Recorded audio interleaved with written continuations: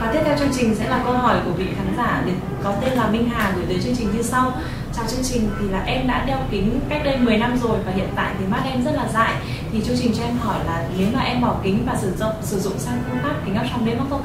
thì mắt em có hết dại được hay không ạ? Cảm ơn chương trình. Vâng, xin cảm ơn câu hỏi của khán giả Minh Hà à, và như chúng ta đã biết đó là trong uh, dân gian thì chúng ta vẫn hay thường là uh, mắt chúng ta bị dại sau khi chúng ta tháo kính. Uh, điều này cũng rất là dễ hiểu thôi bởi vì uh, giống như chị em chúng ta thường uh, thấy đó là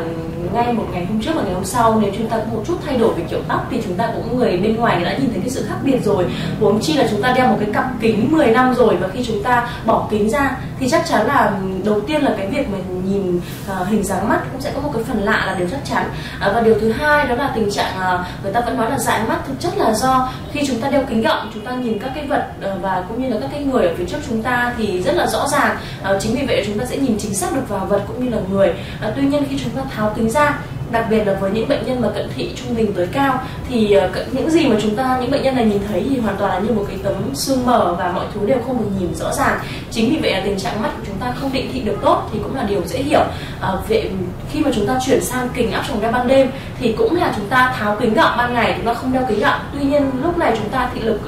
thì như người bình thường tức là được 1 phần 10 thì chúng ta nhìn ờ, mọi vật sẽ hoàn toàn rõ ràng và cũng như tình trạng dại này cũng sẽ được cải thiện đáng kể.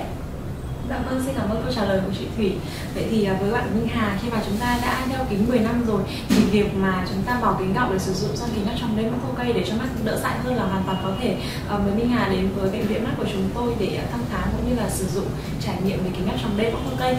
và câu hỏi cuối cùng của chương trình gửi tới từ bạn khán giả có tên là Hải An như sau. À, chào chương trình mua kính áp tròng đêm sau một năm sử dụng thì khi mà kính bị xước thì có chính sách hỗ trợ khi mua kính mới không ạ? Xin mời chị Thủy ạ. À, xin cảm ơn uh, câu hỏi của khán giả. À, và thưa quý vị ờ, hiện tại thì nếu như quý vị uh, sử dụng kính tại hệ thống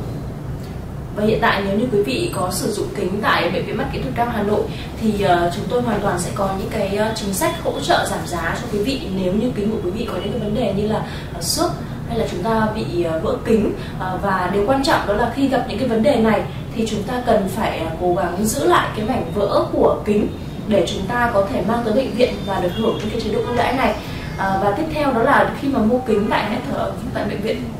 Tiếp theo khi mà mua kính tại bệnh viện mắt kỹ thuật cao Hà Nội thì chúng ta sẽ có cái cơ hội được thử kính và được trải nghiệm về việc đeo kính áp tròng đêm tại bệnh viện của chúng tôi. Vâng, xin cảm ơn chị Thủy. Tại bệnh viện mắt kỹ thuật cao Hà Nội thì chúng tôi có chương trình để quý vị khán giả cũng như là quý bệnh nhân có thể à, trải nghiệm và sử dụng kính Orthokay ngay tại bệnh viện của chúng tôi. Và với những bệnh nhân khi mà đang sử dụng kính áp tròng đêm Orthokay tại bệnh viện thì hoàn toàn có chế độ chính sách hỗ trợ dành cho những trường hợp kính bị gỡ, kính bị xước. Nếu như mà len của chúng ta đang còn mã và trước khi kết thúc chương trình livestream ngày hôm nay thì à, chị Thủy sẽ gửi tới quý vị khán giả những lời khuyên về việc sử dụng kính áp tròng đêm ok Vâng, xin mời chị ạ. Vâng, xin cảm ơn bạn Huệ. À, và thưa quý vị, à, trong suốt đầu chương trình tới giờ chúng ta có thể nhìn thấy những cái ưu điểm à, khá là vượt trội của kính áp tròng đêm Orthokay. Thế tuy nhiên là cho dù cái loại kính này nó có nhiều ưu điểm như vậy, nhưng không phải là cứ loại kính nào tốt, loại kính nào đắt thì ờ, lại là tốt cho các bạn. Mà quan trọng là nó phải phù hợp với tình trạng tật khúc xạ của các bạn nữa. À, tuy nhiên với những bệnh nhân mà đang có cận thị nói chung và đặc biệt là cận thị tiến triển hay còn gọi là tăng số nói riêng thì ờ, việc chúng ta cân nhắc phương pháp kính áp tròng đêm orthokay là một lựa chọn rất là phù hợp và với những bệnh nhân đã có chỉ định ờ, đạt ờ, đủ tiêu chuẩn để đeo lại kính này, thì chúng ta cần ờ, lưu ý một, có rất là nhiều cái lưu ý cần phải nhớ khi sử dụng kính này. Tuy nhiên có một cái lưu ý quan trọng nhất mà tôi vẫn luôn dặn rất là kỹ với tất cả các bệnh nhân, đó là cái công việc lựa chọn à, ra được một cặp kính phù hợp với bệnh nhân thì sẽ là do các à, cử nhân khúc xạ và các bác sĩ làm. Tuy nhiên sau khi chúng ta đã đạt được cái kính phù hợp rồi thì toàn bộ cái à, sự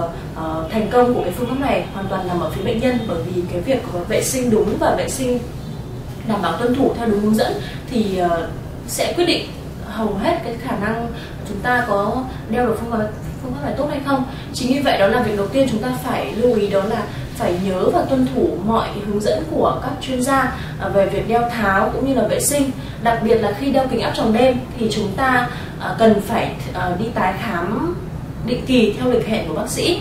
Thông thường thì lịch hẹn của kính gọng chúng ta đeo thì thường sẽ là khoảng 3 tới 6 tháng. Một số bệnh nhân thì là 6 tới 12 tháng. Tuy nhiên đối với loại kính đặc biệt này thì chúng ta cần có cái sự ờ, tái khám cụ thể hơn ví dụ như là trong cái tháng đầu tiên thì chúng ta sẽ phải đi khám lại uh, định kỳ sau khoảng một tuần kể từ ngày chúng ta đặt kính sau đó lại là hai tuần và sau đó sẽ là một tháng và sau đó thì sẽ là định kỳ 3 tháng một lần. À, việc tuân thủ này thì sẽ giúp chúng tôi kiểm soát được toàn bộ những vấn đề có thể xảy ra ví dụ như là việc chúng ta vệ sinh kính chưa tốt hay là việc chúng ta uh, kính của chúng ta có xước hay là có vấn đề gì khác hay không để có thể kịp thời xử lý à, và tiếp theo thì chúng ta cần tuân thủ đó là khi đeo kính áp tròng đêm thì chúng ta phải cố gắng ngủ đủ giấc ờ, uh, 6 cho tới 8 tiếng. À, việc này thì tôi cho rằng cũng dễ thôi bởi vì hầu hết bệnh nhân đeo kính áp tròng đêm thì cũng là những bệnh nhân à, thứ nhất là còn khá là trẻ tuổi. À, cho nên là cái việc tuân thủ bây giờ giấc ngủ này tôi nghĩ là cũng rất là dễ. À, vâng và tiếp theo đó là khi đeo kính áp tròng đêm thì có một số bệnh nhân có thể ban ngày bệnh nhân sẽ uh, có thể gặp phải một số cái tình trạng như là mắt thỉnh thoảng hơi khô một chút đặc biệt là trong những cái tiết trời mà hanh khô như hiện nay uh, ở Hà Nội. Thì nếu như với những tình trạng khô này thì chúng ta uh, cần sử dụng thêm một số cái loại nước mắt nhân tạo để có thể hỗ trợ thêm. Đặc biệt là với những bệnh nhân cần phải sử dụng máy tính nhiều nữa thì uh, cũng cần có thể phải cân nhắc sử dụng thêm một số loại nước mắt nhân tạo. Và với kính áp tròng đêm thì chúng ta cần phải tuân thủ về những cái thời gian như là chúng ta uh, thay nước ngâm nước rửa như chúng tôi vừa nhắc tới này. Và cái thời gian uh, một cái kính có thể sử dụng đó là như chúng tôi có nhắc đến là một năm rưỡi tới hai năm thì chúng ta cũng cần phải cân nhắc thay một cái cặp kính khác để đảm bảo sự an toàn cho đôi mắt của chúng ta.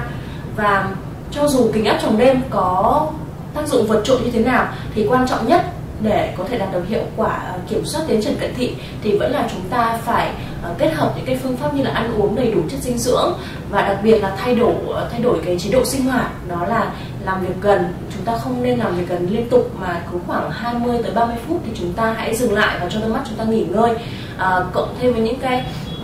lời khuyên khác như là chúng ta uh, ra ngoài trời chơi nhiều này chơi nhiều những cái bộ môn thể thao uh, để giúp đôi mắt của chúng ta thường xuyên được nhìn ra xa thì khi đó cộng thêm với việc chúng ta sử dụng kính áp tròng thì có thể tự tin rằng độ cận của con em chúng ta sẽ được kiểm soát tốt. Vâng xin được cảm ơn những lời khuyên của chị thì